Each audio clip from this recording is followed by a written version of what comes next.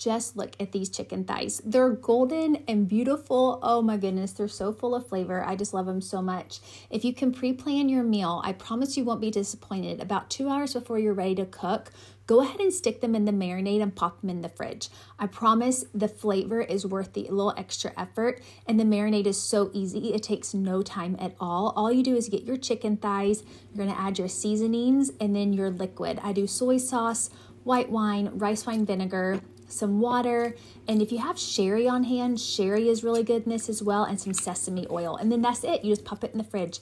Go ahead and chop up some ginger and some garlic, and you're gonna use that in the hot pan right before you cook your thighs, along with some red pepper flakes. You get that kind of golden and zesty orange right over it. It's so good. Go ahead and add your chicken thighs to that hot skillet, and they cook for about six to seven minutes on each side. You're also going to add the marinade from that bowl that you've been marinating in. You go ahead and just flip them and cook them until they're done, about 165 until they're no longer pink.